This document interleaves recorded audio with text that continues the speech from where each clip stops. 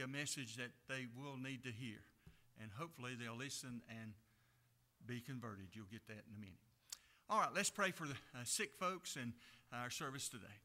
Yeah, Father, we just thank you for today. And Lord, we just, with great joy and anticipation, uh, look forward to the things that's going to take place today. And God, you are faithful. And God, your word is quick and powerful and sharper than a two edged sword, able to divide the soul and the spirit. And God, it is your word that we're going to count on today to do the job uh, that you have designed it to do, uh, to speak to hearts and to change lives. And God, for those that are grieving, we just continue to pray for those dear folks and ask you to meet their needs and encourage them, strengthen them, uh, give them the help that they need during these days. Uh, for those who are battling uh, life uh, diseases, I just pray for them and the journey that they're in, and I just pray, God, that your grace will be sufficient uh, for those that are dealing with uh, just the normal stuff, we just pray for them and pray, God, that you would meet their needs uh, as well. Again, we just ask you to meet with us in a special way during our service. God, may it bring honor and glory to you. And we ask this in Jesus' name. Amen and amen. 1 John 4:14 says, The Father sent the Son to be the Savior of the world. Let's stand together and sing, There is a Savior.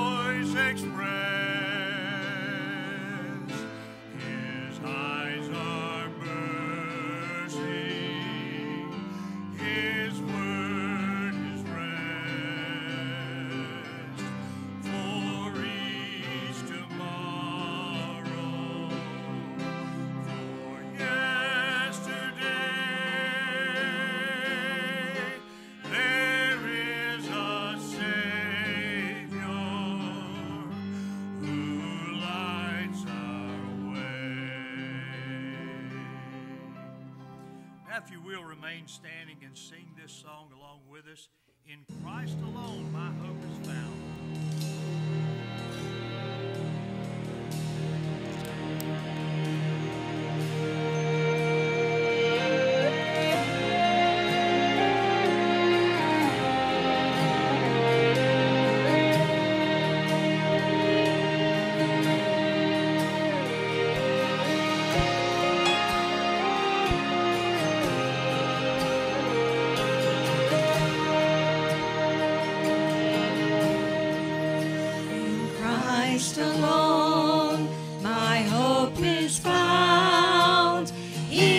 my light, my strength, my song.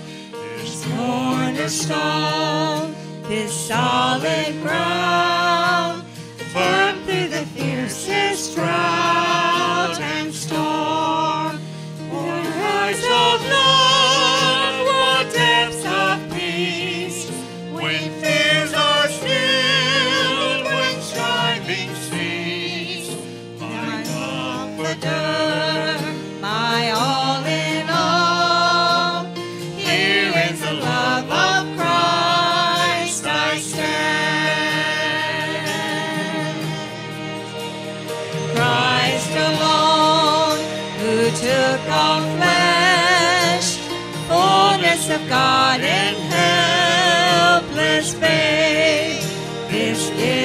of love and righteousness.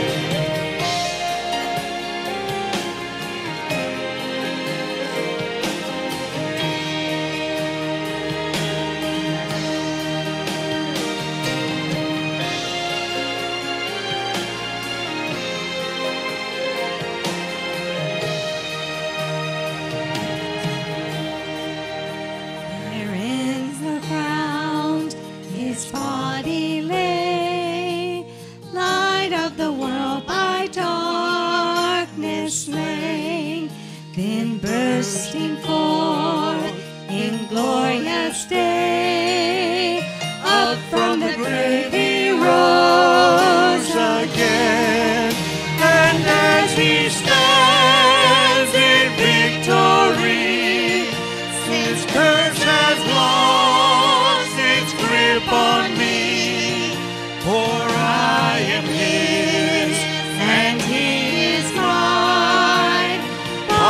the precious blood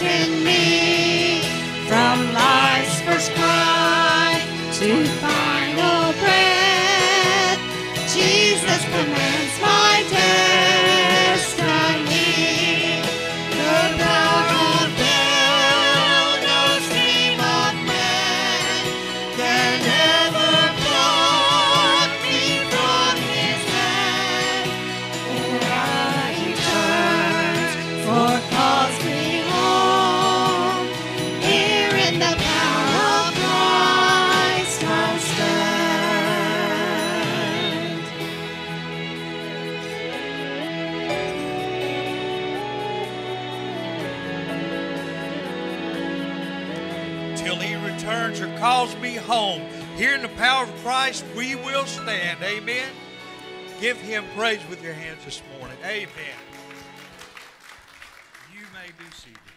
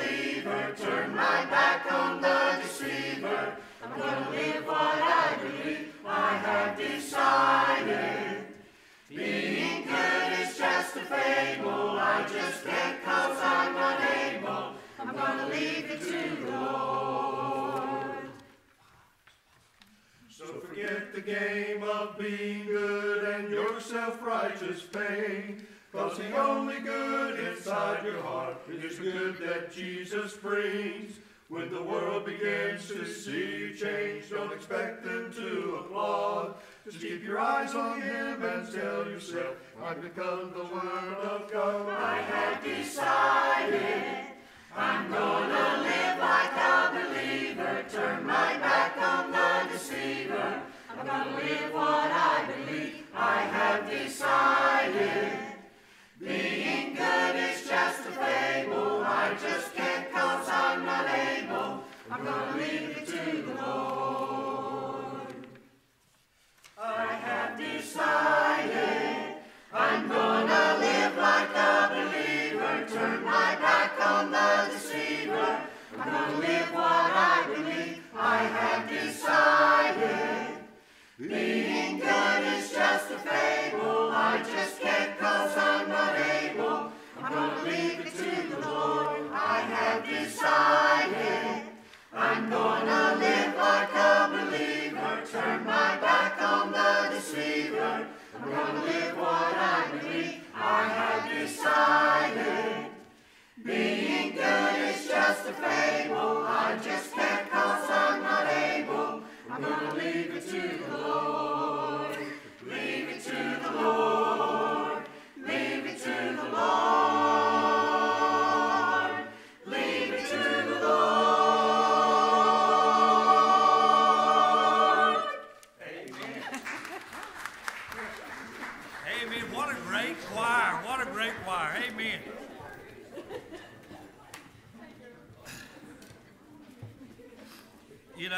sing about my hope is found in Christ alone.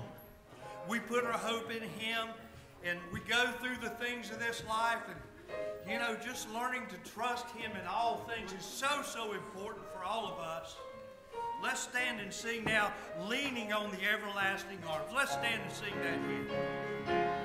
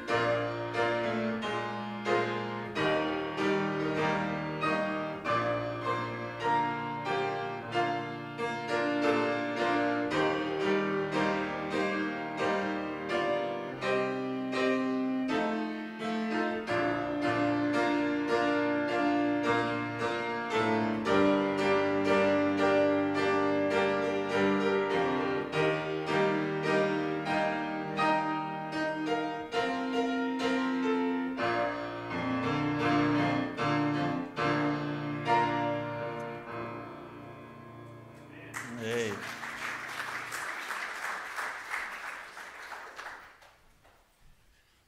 All right, if you'll find your copy of God's Word, turn to Acts chapter number 4. Acts chapter number 4.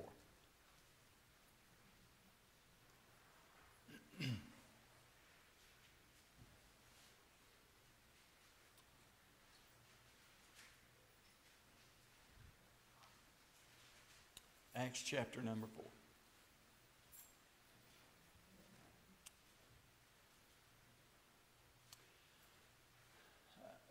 I'm not going to call uh, the name of the lady, uh, but if I called the name, you would know who uh, I was referring to. She made this statement The biggest mistake man, not men, but mankind, has made is to believe that there's just one way to God. I didn't make a mistake. Because God's Word says there is just one way to God, and that's through Jesus Christ, His Son.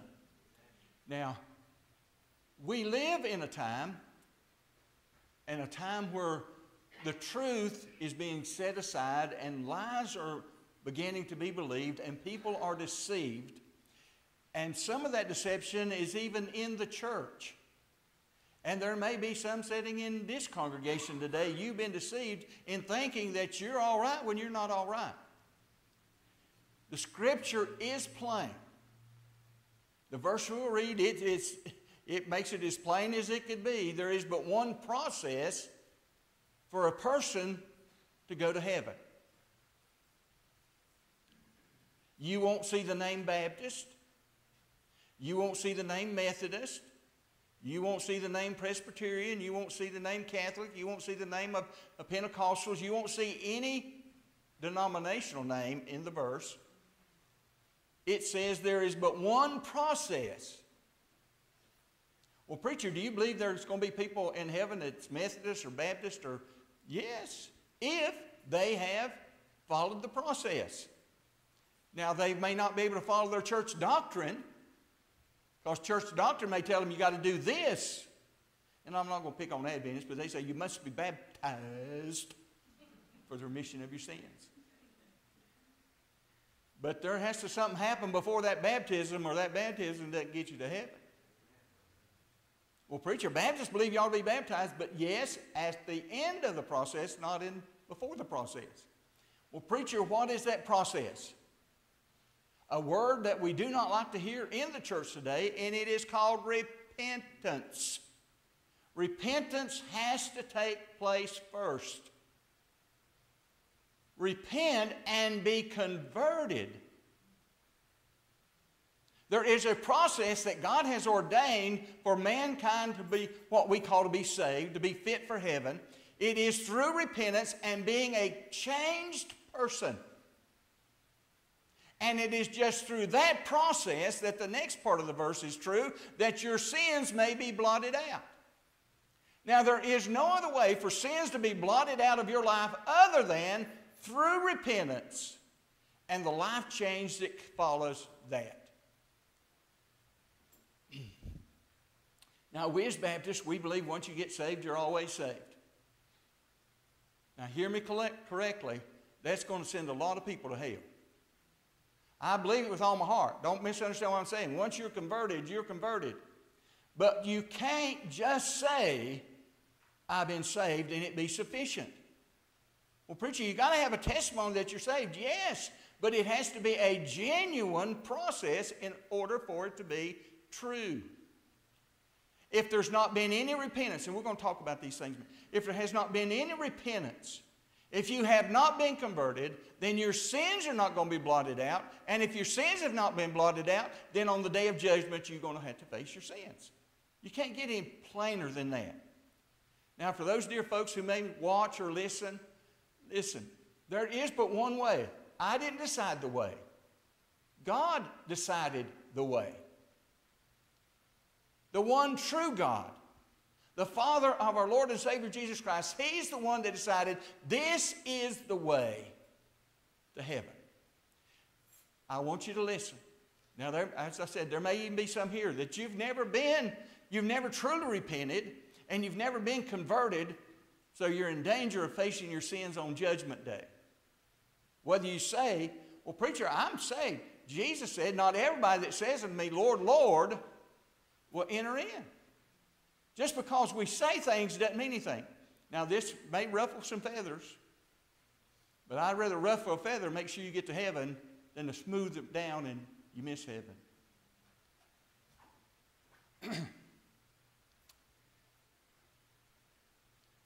well, I know little Johnny's saved. He made a profession of faith when he was a teenager. I know Susie, she's saved. She made a profession at Caswell. Listen, if the process has not done, you are not saved. If there was not a genuine repentance and a conversion, you are not born again. You're not saved. You're not fit for heaven. Well, preacher, what does all that mean? Well, that's what the lesson's about today about true conversion. All right, let's, I quoted most of the verse, I think. Verse number 19 in Acts chapter number 4.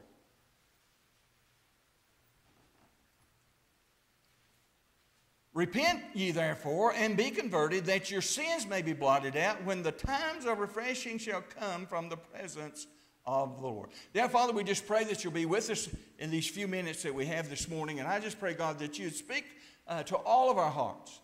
That, God, we will truly and honestly consider ourselves to make sure that we have rightly been born again. And God, for those who may be watching from, through other venues or on DVD or YouTube or wherever it may show up, God, will they please listen with a heart to hear and to understand the truth of your word that they might complete the process. For God, that is the only desire this preacher has. God, you know my heart. I'm not trying to make Baptist out of anybody. I'm not trying to get anybody to change their denominations. That's not, that's not important. What is important is if we have truly done what your word tells us that we must do in order to go to heaven. God bless your word. Sweet Holy Spirit, take that word and stir the hearts of people that there might be convert, converts as a result of this lesson today. We ask this in Jesus' name. Amen and amen. Then, preacher, tell me what is true Bible repentance? Repentance is nothing more than having a change of mind. Your change of mind is not about yourself, it is about God. There has to become a time and a place in your life that you recognize that God is right and you're wrong. You got to recognize that what God says is true and what you believe may not be true. Now, if true repentance happens, a true change of mind, if true repentance happens, then conversion will follow. Conversion is the turning of the life around. Instead of heading in a direction that leads to destruction, you're now heading in a direction that will lead to heaven or the blessings of God or whatever the terminology is that you like to use. So, what the, the verse is instructing us to do is repent and be converted. Have that conversion experience, that change of mind, that change of heart, and that change of direction. Now, before you jump to a conclusion, I'm not saying you can do this on your own. You're going to have to, we'll follow the rest of the story in just a minute. What is then, what is a true converted person?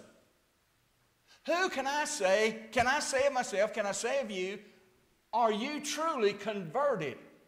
A converted person, now listen, this is the, this is the key to all that I'm going to say this morning if in your own life or in the life of your family, your friends, your neighbors, your coworkers, whoever they may be, if they have not turned from darkness to light, if they have not turned away from the power of Satan to the power of God, they are not converted.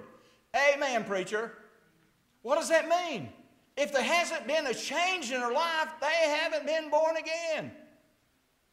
The process is being changed from what you were into what God has ordained for you to be. Now, listen carefully. I'm going to talk about three things in the, in the lesson or uh, uh, message this morning. We're going to look at the nature of what conversion is. We're going to look at uh, the means of that conversion and the importance of that conversion. Now listen, well, how do, preacher, tell me, how do I know if I've truly been converted? Now listen, these things I'm saying are they're not options. This is God's teaching of what it looks like or what it takes in order for a person to be truly converted. If these characteristics are not in your life, in the life of your children, in the life of your neighbors, in the life of your coworkers, whoever you come in contact with, if this does not describe them, they are not converted. Well, preacher, how do you know? Can you tell when it's light and when it's dark? Can you tell whether a banana is green or ripe? Things are obvious. And these will be obvious to us as we look at people and ourselves. Well, preacher, we're not to judge people. Oh, don't buy into that lie. I'm not to condemn people, but I can judge whether they're converted or not by their life and the things that I'm going to talk about right now. All right, here we go. Number one. If true conversion has taken place, there has been a change of understanding from light to darkness. If true conversion happened, there has a change taken place and they went from darkness to light. Well, preacher, what in the world does that mean? The Bible describes what it looks like to be the natural man. The man that is not born again, the man that's not saved, the man that has nothing to do with God. He has a nature. And that nature lives itself out every minute of every day.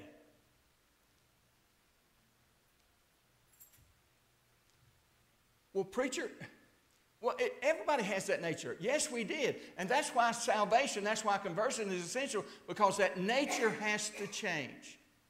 Now, what is the old nature, the old man, the sinful nature? What is that like? And, I'm going to use a word, and don't take it, uh, I don't mean it negatively, it's just a true statement.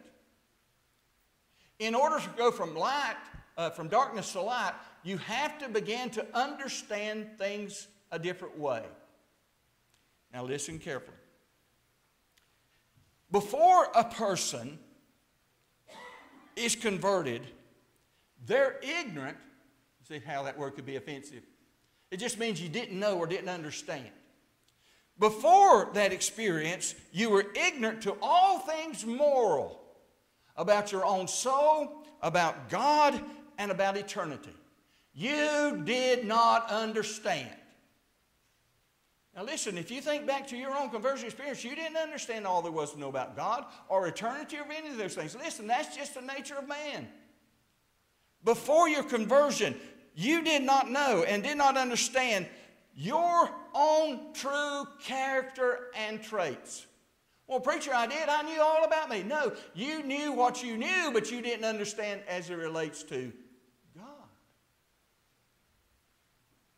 Before you become a Christian or get uh, converted, you're ignorant of God's true nature and perfections. You did not understand who and who God was, how moral He was, how holy He was, how and you could talk about God forever and ever.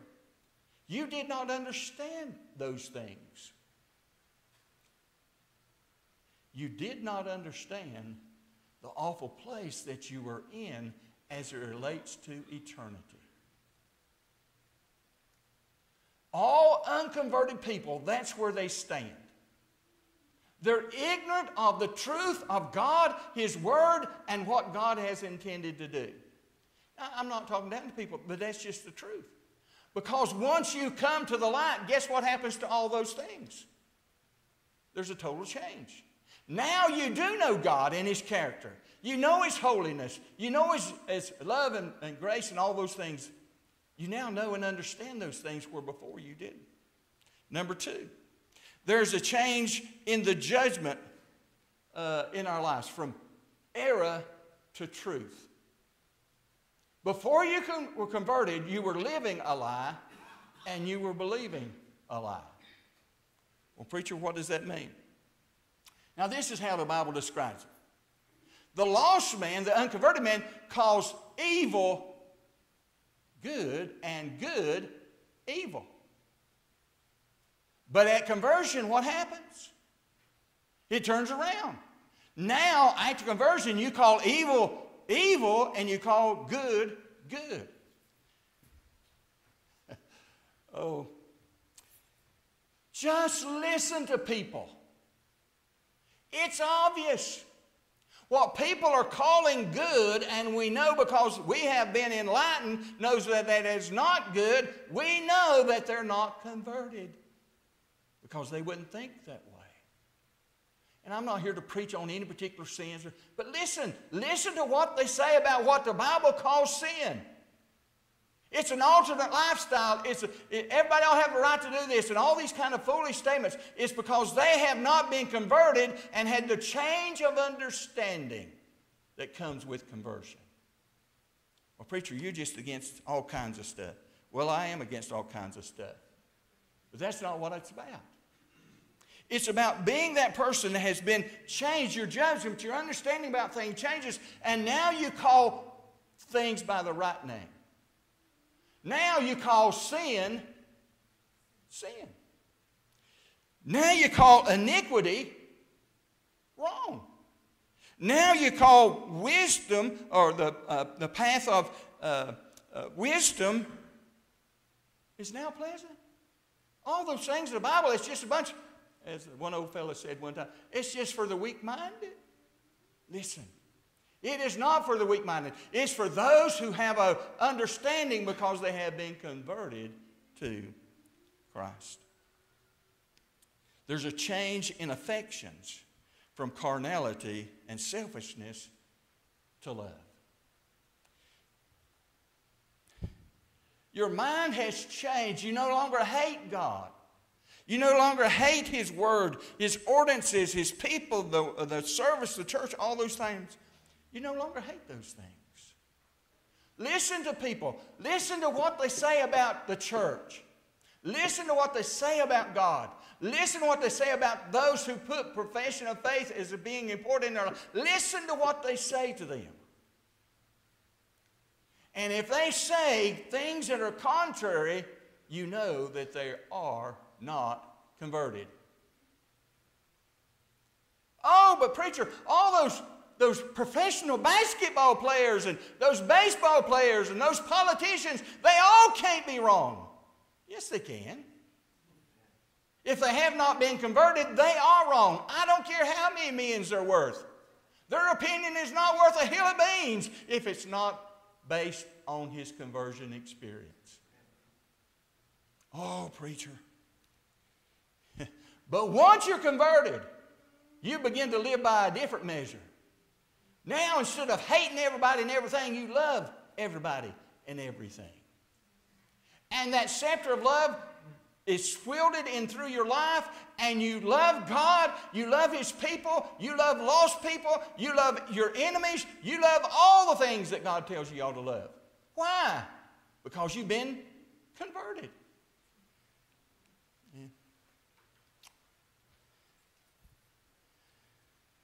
Yeah. We live in a time where it is claimed that some lives are more important than others. That's a lie out of the pit.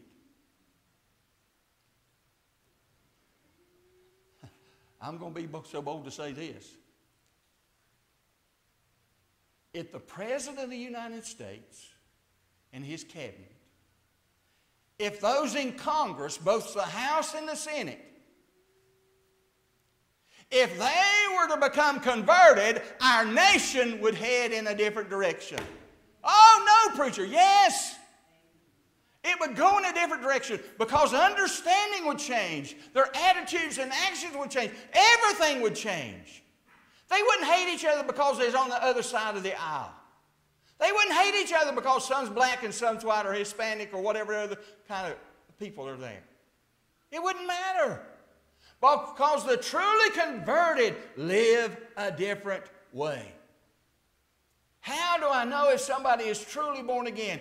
It will be visible. It will be visible to everybody that they are living a different kind of life. That's what it looks like to be converted. It is a complete change of mind and attitude and actions. The things that you used to love to do, you no longer love to do those. The things that you hated about everybody else, you now love because you've been changed. Listen, if that change has not taken place, that conversion has not taken place, you are not going to heaven. I don't care what kind of path you think you're on. I don't care what kind of God you think you're serving. I'm telling you the truth. There is but one way, and that's God's way. And He says you got to be, you got to repent and be converted, that your sins can be blotted out. Preacher, you got up on the wrong side of the bed. Well, I didn't mean to. Vicky kicked me out. I'm just speaking. Fourth, there'll be a change of will from rebellion to obedience. Before you were saved, you lived life your way, you did things your way, and after conversion, it was no longer about your way, but it was about His way. All unconverted people are in rebellion against God. Oh, no, we love God. We come to His church. We put money in His offering plate. Lost people can do that. But those who have converted, their will has changed. They no longer desire uh, uh, the things of the world. Now, preacher, teach me the old way. Preacher, show me the old path. Preacher, show me how it was to live and be a Christian in the world. Preacher, tell us about that. That's the attitude of a Christian. But to the lost man, don't show us anyway. We want to do our own thing.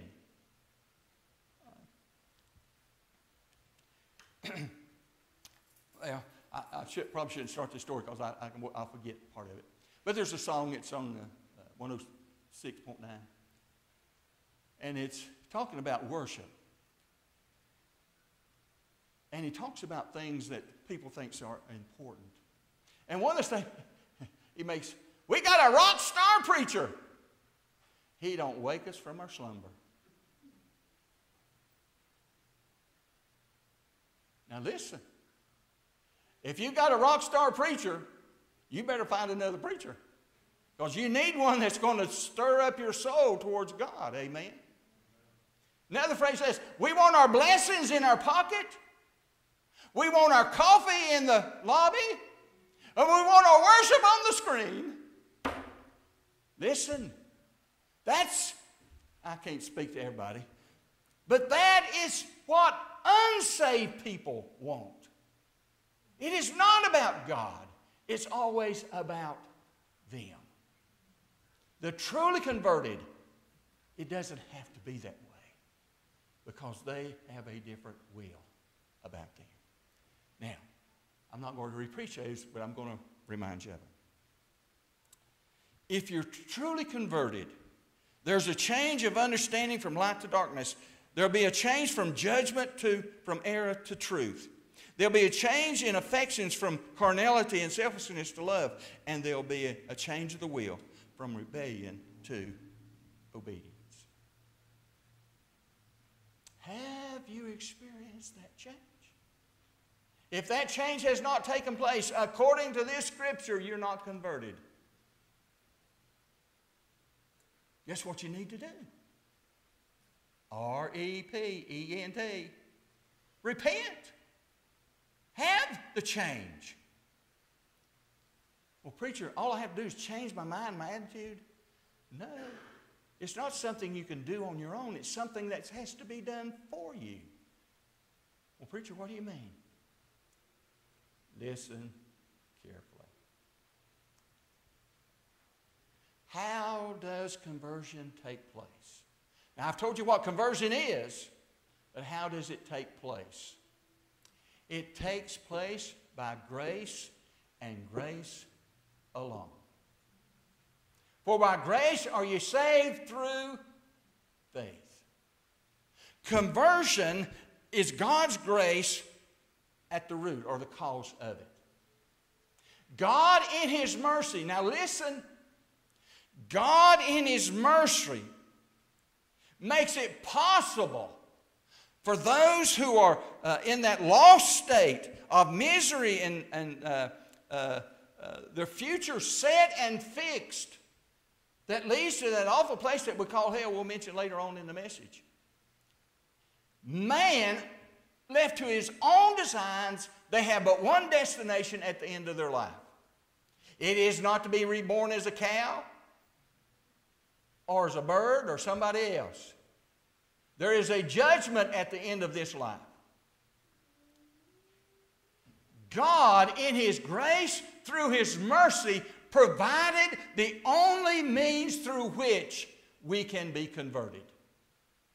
God, in His infinite wisdom, said, The only way that I can change that person, to change their understanding, to change all the things that we talk, the only way I can change that is through offering a sacrifice that I can accept as sufficient. And He sent His Son, Jesus Christ, to die on the cross. And then God could say, I have, I have redeemed you. Return to me. On Calvary's cross, those 2,000 years ago, Jesus declared mankind redeemed. And he did what was necessary for that redemption to take place because of his grace and his mercy alone. Nothing that I could do. I could change all that I wanted to change, but it wouldn't be sufficient. But through Calvary and what Jesus Christ did, God's truth is the vehicle or the means to lead us to that conversion. The Bible tells us the law of the Lord is perfect. The Word of God is perfect. The Word of God is perfect and converteth the soul. God, in His grace, pinned down the story in what we call the Bible. And he pinned that truth down that we could come and be converted as a result of that story. Now, listen. Well, preacher, why should I believe you that we need to be converted? Why should I believe you that we need to repent? God, in His infinite wisdom, pinned it down. This book tells me, and anybody who's willing to read it, it tells me God's view of mankind.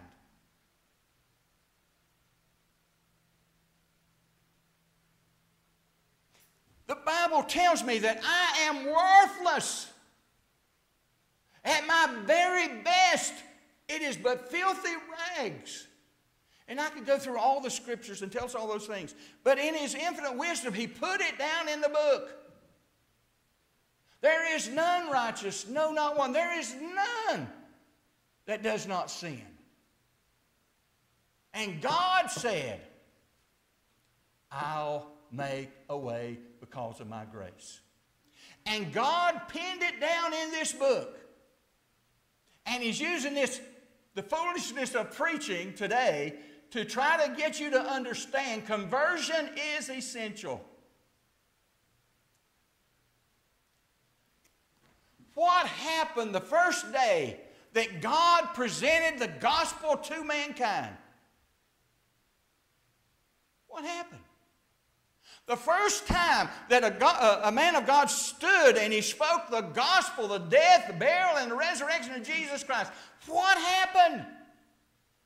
People repented and was converted. Matter of fact, it says there's 3,000. In the book of Romans, Paul, he said, uh, uh, How can they hear without a preacher? Remember that? The gospel has to be proclaimed either through a spokesman or through the written word.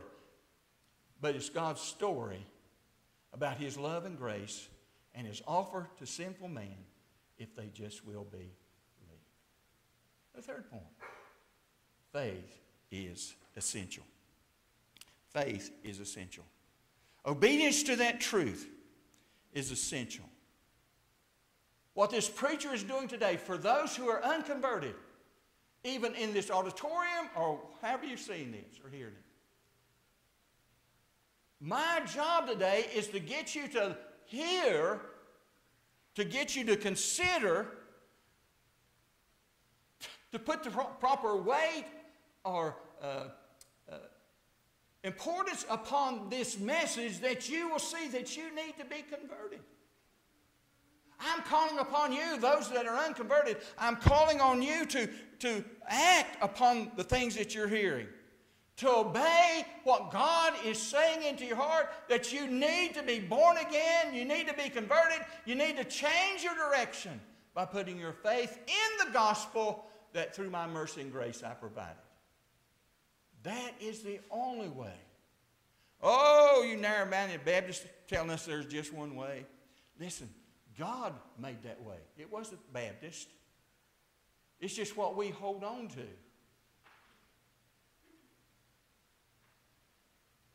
You must repent and you must be converted before your sins can be blotted out.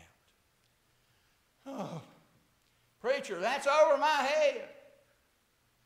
Well, I'll take this the right way. Jesus said all you got to have is a faithful little child. You just have to believe. There's nothing more than simple faith to start the process. Preacher, what is that faith like? It's simply believing the story. The story of the gospel. The story that God wrote in His Word from Genesis to Revelation, in the Gospels, Jesus coming and living and dying and being resurrected, and believe that He did that because you needed the change. You needed to be converted. You needed to be born again. And he said, This is the only way. Oh, preacher, it is the only way that God accepts. Now, you may come up with some other devised plan, but it won't be accepted because God accepts only those who come through His way. In reality, there is truly no other way except the way that God has. Question one Have you experienced that change?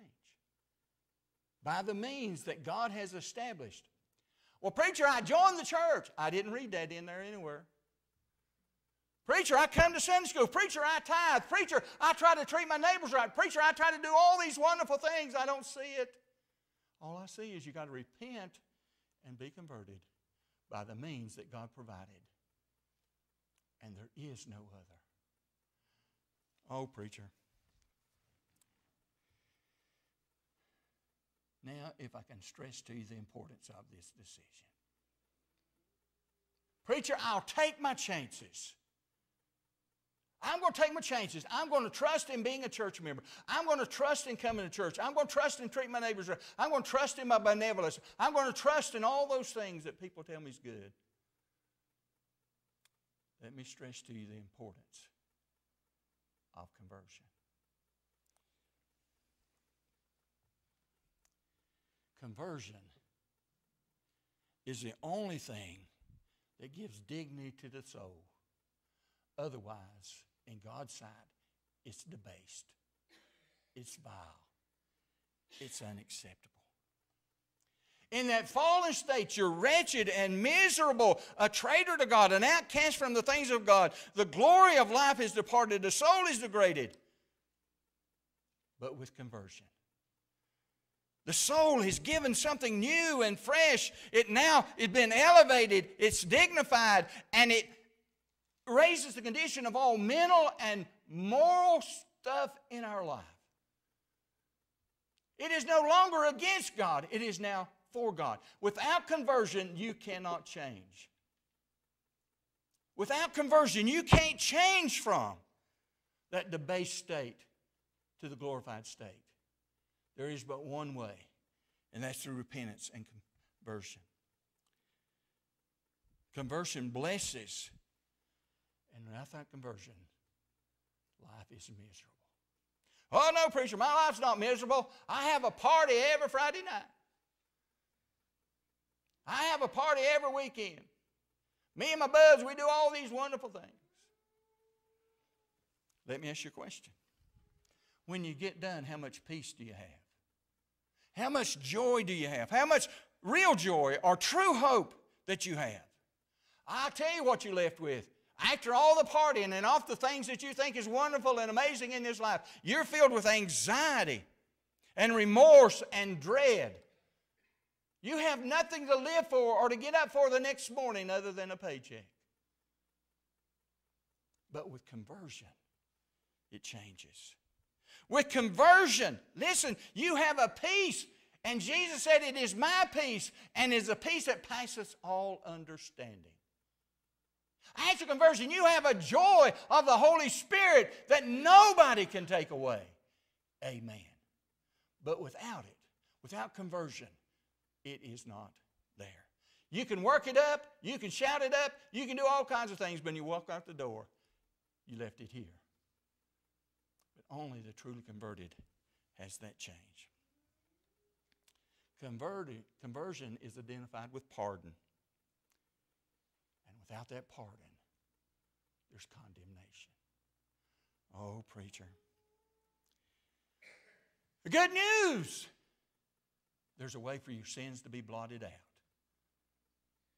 There's a way to have forgiveness of your sins. There's a way that you can get rid of that stain that's in your life. Jesus said, If you'll come to me, I'll come to you. Those who have been uh, converted enjoy the remission of sins and the peace of God and the joy of the Lord. Without it, you stand condemned.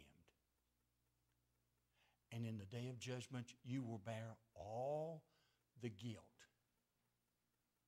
all the guilt of your life. But not so for those who've been converted. They stand before God righteous because they trusted in God's plan and in His Savior. Conversion is connected with eternal life. And on the other side of the equation, misery and eternal death. You hear preachers out there? Heaven is a prepared place for what? A prepared people. Hell is a prepared place for unprepared people. Heaven is a place of peace and joy and happiness and all those things that we know that heaven is. Hell is the exact opposite of that.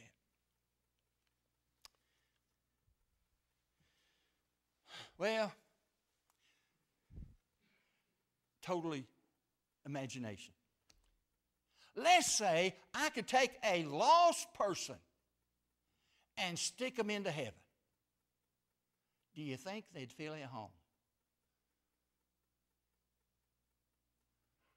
Well, let's put you in the equation. Now, I don't mean this derogatory. I can't speak Spanish. What if I put you in a room of people who spoke Spanish and you're in there by yourself? Would you enjoy yourself? I wouldn't. Because I wouldn't. They might be talking about me and I didn't know it. I can tell you they wasn't going to be talking how good looking he was. They wasn't going to be talking about how skinny he was. They probably talking how, well, I won't say things that we could be talking about. And I don't mean that derogatory. We just don't feel comfortable.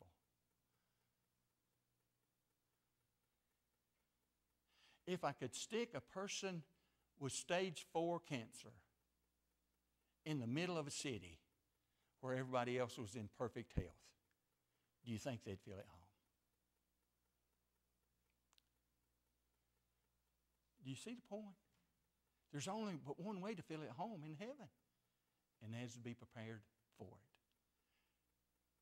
You're prepared, and you can enjoy all that waits there for you.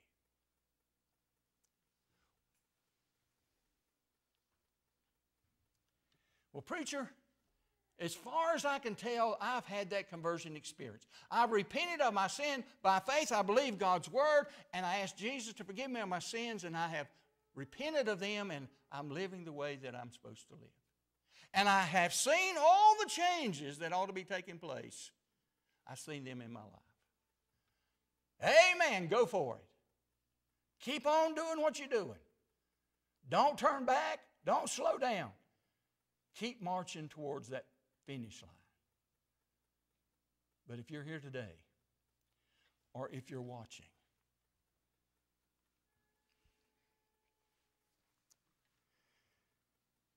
the good news is you're not bad enough, it won't work.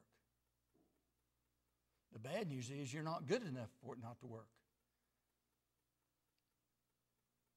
All people need all people need to repent and be converted in order for their sins to be blotted out. If you've never experienced that change, today, today could be your change day. Well, preacher, what I do? Believe God's word. Believe that God, in His grace and His mercy, provided the means through which you could be converted and with childlike faith believe the gospel story. I'll take it back a little bit past the gospel. That all men are sinners. They're wicked and vile before God. And without what He does, there is not a chance of heaven. But in His love, mercy, and grace, He provided a way, an avenue for you to come and be with Him in heaven if by faith you'll believe His story and let Him change your life. It's that simple.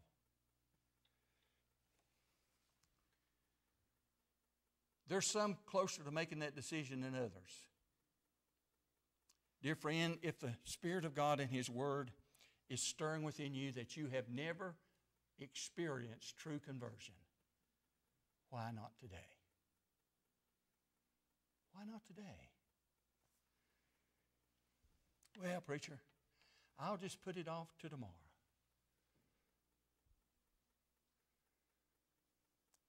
There may not be a tomorrow.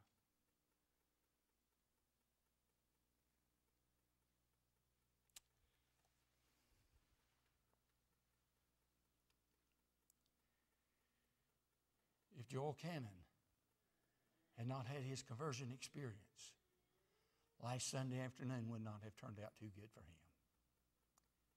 But I'm glad he was converted through faith.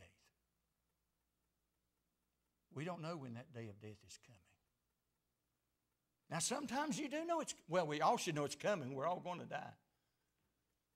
We just don't know when or how. But sometimes people know. And he used Joel, a year ago, they told him, you may have a year. And it was almost a year, or right at a year. Sometimes they can tell you, but they don't help you make the decision. You have to make it for yourself. Let me encourage you.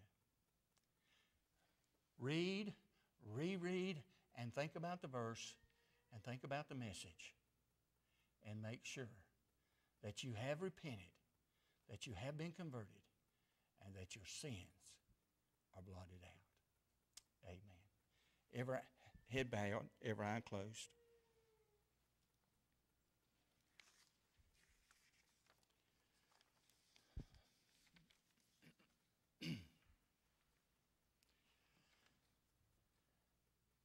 As in the, the silence of the moment, and hopefully our attention and our attitude on the things that we've heard today. If you're here today, now listen, if you're here today and you've heard this message today, understand it's by God's sovereign will that you did. You're here today to hear this message. It is either one to confirm your decision and your faith or to get you to understand you need to do it. And if you're here today and you've never repented and been converted through faith, He's asking you today, will you come to me? Will you put your future life, your eternity, in my hands through faith? I promise you, based upon God's word, if you come today in repentance, through faith, accepting His gift, He'll save you today. And you can leave as that converted individual with the changes that's possible. But it's your decision. Dear Father, we just thank you for today. I pray, God, that you would take these words and stir the hearts of people. Whether they're seated here in our auditorium or whether they're watching or listening some other way, if they're not saved, I pray that they'll re listen, think about, meditate on these thoughts. And God, that your sweet Holy Spirit will bring, the, bring them to the place of conversion. For God, that is your will. That is your desire. That's why you sent Jesus to die on the cross for sins and for sinners.